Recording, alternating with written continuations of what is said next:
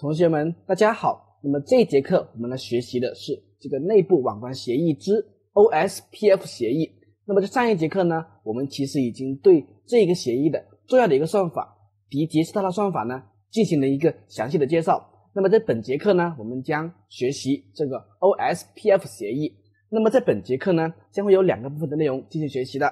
第一个部分呢，我们先要了解这个链路状态协议。那么 OSPF 协议呢，它其实使用的是这个链路状态协议，也称之为是这个 LS 协议。第二个部分呢，是这个 OSPF 协议的过程。那么在学习本节课的内容的时候呢，我推荐同学们把这个 OSPF 协议对比着这个 RIP 协议来学习。那么这样子呢，可以更好的去吸收本节课的内容。那么首先我们来看这个。链路状态协议，那么链路状态协议呢？它有几个特点。那么首先第一个特点呢，它的这个协议，它会向这个所有的路由器去发送信息。举一个例子，比如说一个路由器产生的信息，那么这个路由器呢，将会往这个相邻的路由器发送这些消息，然后这些相邻的路由器在收到这个新的消息之后呢，又会广播这个消息到他们相邻的路由器，一传十，十传百。把这个消息传送到整一个网络的路由器里面去。那么这个特征呢，我们通常也称之为是这个一传十，十传百的特征。那么这个特点呢，是这个链路状态协议非常重要的一个特点。那么这里面我们来回顾一下前面我们所学习的 RIP 协议。那么 RIP 协议呢，它发送消息的时候，它只和这个相邻的路由器交换信息。接着是这个链路状态协议的第二个特点。那么第二个特点呢，就是这个消息会描述该路由器与相邻路由器的链路状态。那么这里面呢，重点是这个链路状态。那么什么是链路状态呢？链路状态就包括了与相邻路由器的这个距离，以及时延，还有这个带宽等等的一些可以描述这个链路状态的一些指标。那么这些指标呢，可以更加客观的去描述该路由器。与相邻路由器的这个链路的状态，那么这些呢，就是关于这个链路状态的相关指标。那么在这里面更为重要的一点是，这里面的链路状态呢是可以人为介入的，也就是说，网络的管理员可以决定这个链路状态，使得这个链路状态协议更加符合人类管理的这个需求。那么在这里面呢，我们通常呢也会把这个链路状态称之为是这个网络连接的代价，因为呢，它客观的描述呢就是一个路由器。到达另外一个路由器的这个代价。那么在这里面，我们也回顾一下我们前面所学习的 RIP 协议。那么在 RIP 协议呢，他们交换的信息其实只是这个跳数。那么这一点呢，也是这个链路状态协议与前面的这个 RIP 协议非常不一样的地方。接着还有第三点，那么第三点呢，这个链路状态协议只有当这个链路状态发生变化的时候。才发送这个更新的消息，那么这一点呢，也是和这个 RIP 协议非常不一样的。那么在前面的学习，我们知道这个 RIP 协议呢，它每隔三十秒就交换一次这个路由信息，不管这个路由信息有没有发生变化呢，它们都是每隔三十秒就交换一次的。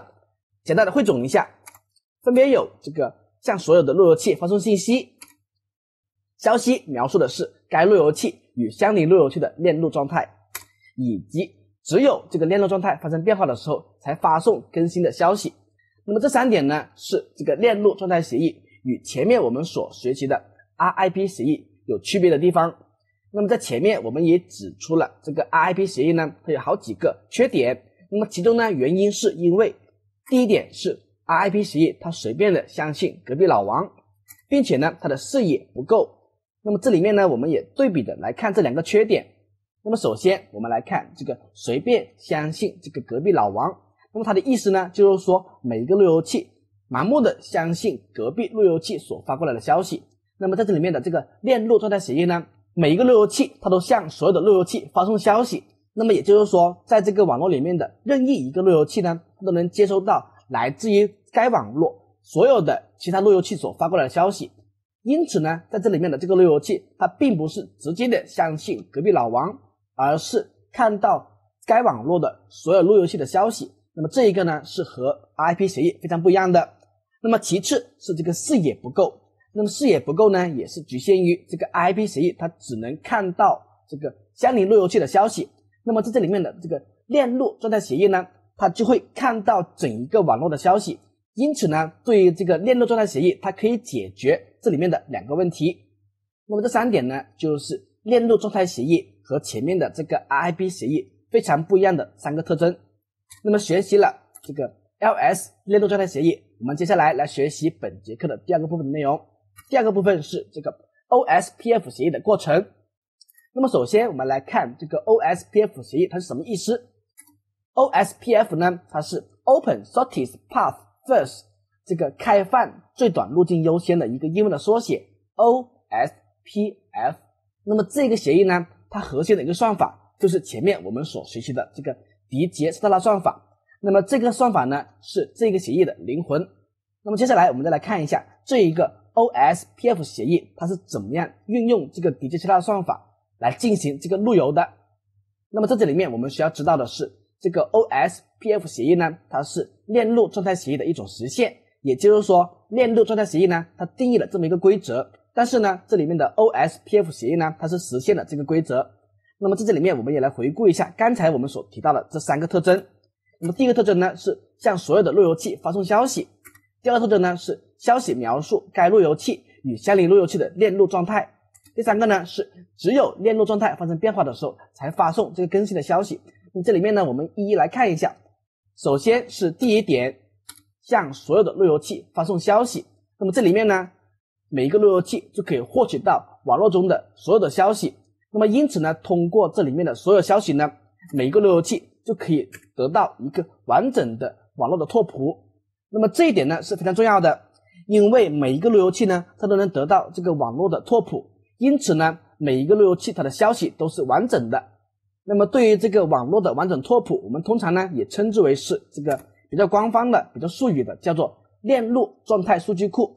那么它其实保存的就是网络中每一跳的这个链路状态是怎么样的，所以呢，我们也称之为是这个链路状态的数据库。那么这个链路状态数据库呢，它是全网一致的。那么这一个也是因为每一个消息都会广播到网络中所有的路由器，因此呢，整个网络的这个链路状态数据库是一致的。那么因为每一个路由器呢，它都有这个完整的网络拓扑，因此呢，每一个路由器呢，它都可以自己的运行这个我们上节课所学习的迪吉斯特拉算法。那么通过这个算法呢，路由器就可以找到自己到达某一个顶点的这个最短路径是什么。因此呢，这一个特点。向所有路由器发送消息，就使得这个迪杰斯特拉算法可以成功的运行起来。接下来我们再来看第二点，第二点是消息描述该路由器与相邻路由器的这个链路状态。那么我们刚才也提到了，链路状态包括这个距离、时延、带宽以及等等的一些可以描述链路中状态的一些指标。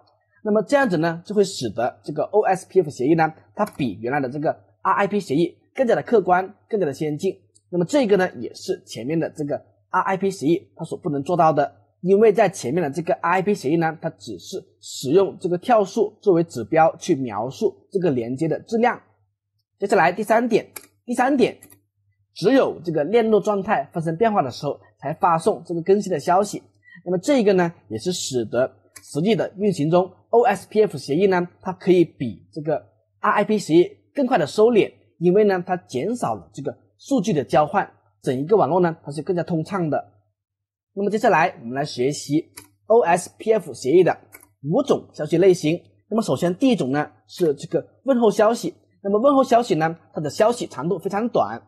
那么这个消息主要是用于维护该路由器与相邻路由器的这个可达性的。那么在实际的这个运行里面呢，每一个路由器它都会发送这个问候消息。给隔壁的路由器，以此来确认该路由器与隔壁路由器是否真正的可达。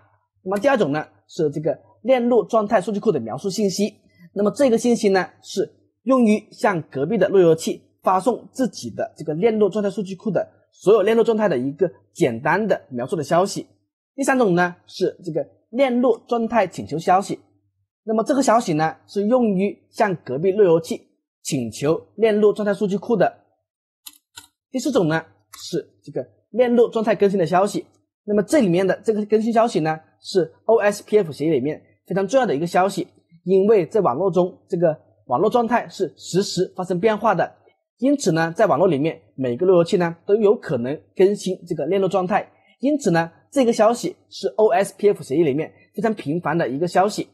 那么同时，我们也知道，对于这个更新消息呢，每个路由器它都会广播到整一个网络里面去，因此呢，这个更新消息呢，实际上也是 OSPF 网络里面的最常见的一种消息。第五种是这个链路状态的确认消息，那么这个消息呢是用于对链路更新的一个确认。那么了解了 OSPF 协议的五种消息类型之后呢，我们就可以来学习 OSPF 协议的整个过程了。那么对于 OSPF 协议呢，首先路由器接入网络，那么接入网络之后呢，它就会向相邻的路由器发出这个问候信息，以此来确认这个可达性。那么确认之后呢？他们就可以相互的去交流当前的这个链路状态信息了。他们首先会发出这个数据库描述信息，向隔壁的路由器介绍自己的这个链路状态的一个简要的消息。那么简要的交流之后呢，他们就会对他们不同的这个链路状态进行一个同步，以此呢来达到一个一致的状态。那么和邻居交换了这个链路状态数据库之后呢，他们就达到了一个一致的状态。那么与邻居达到一致状态呢，是远远不够的，他们还需要与网络中的其他的路由器达到一致的状态。因此呢，这个时候路由器呢就会广播这个网络中更新的消息，以及接收更新消息，以此来更新本地的这个链路状态数据库。那么这一个呢，就是 OSPF 协议的完整的过程。那么接下来我们也对这个 RIP 协议以及 OSPF 协议进行一个对比。这里面呢，我们来看这个 RIP 协议。我们知道，对于 RIP 协议呢，每个路由器它都是从相邻的路由器来看这个网络的，也就是它只能看到相邻路由器的这个网络状态。但是呢，对于这个 OSPF 协议呢，它是可以得到整一个网络的拓扑的。那么其次，对于 IP 协议呢，它们的路径直接是在路由器之间累加这个距离，也就是这个跳数。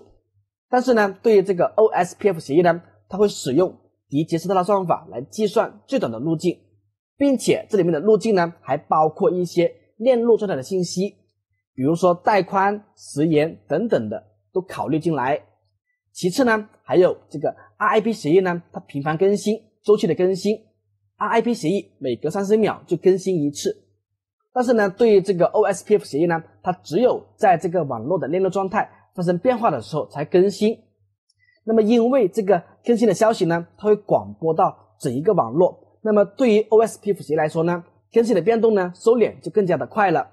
还有就是这个 I P 协议呢，它其实只是在路由器之间拷贝这个路由信息，也就是你相信我的，我相信你的。但是呢，对于 OSPF 协议就不一样了。OSPF 协议它会接收整一个网络拓扑，并且自行计算这个路径是怎么样的。那么这一个就是 RIP 协议与这个 OSPF 协议的不同的地方。那么这个表格呢是需要同学们理解的，并且记忆下来的。最后简单的来回顾本节课的主要内容，分为两个部分，分别是这个链路状态协议。那么对于这个链路状态协议呢，我们通常也称之为是这个 LS 协议。那么对于这个协议呢，我们对比着来看这个 I P 协议，它有三个非常不一样的地方。那么这三个是什么呢？同学们需要回顾一下。那么其次，第二个部分是这个 OSPF 协议的过程。那么在这里面呢，我们了解了 OSPF 协议它更加先进的一个地方，以及 OSPF 协议的五种消息类型。那么以上呢就是本节课的所有内容。